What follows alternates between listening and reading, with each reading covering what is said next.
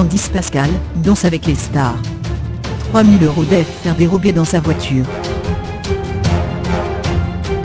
En pleine tournée de danse avec les stars, Candice Pascal a fait un petit passage au commissariat. Sa voiture a été forcée et ses affaires ont été volées. Candice Pascal était sur un petit nuage depuis quelques semaines. En pleine tournée de danse avec les stars, la danseuse de TF1 a pu retrouver Agustin Galliana, son ex-partenaire avec lequel elle avait remporté la saison 8 de l'émission. Mais le 12 février dernier, la belle brune de 33 ans a eu une très mauvaise surprise, alors qu'elle passait une soirée à Paris. Comme le rapporte Closé, Candice Pascal avait garé sa voiture dans un parking souterrain sécurisé des Champs-Élysées. Une Smart qu'elle ne s'attendait pas à retrouver dans un piteux état, mais malheureusement son véhicule a été forcé.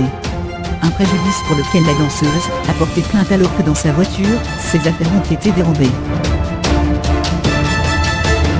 Closé révèle que Candice Pascal a déclaré à la police que des sacs avec des vêtements et des bijoux se sont volatilisés. Un vol qui s'élève à 3000 euros. Voilà une mésaventure dont la danseuse se serait bien passée.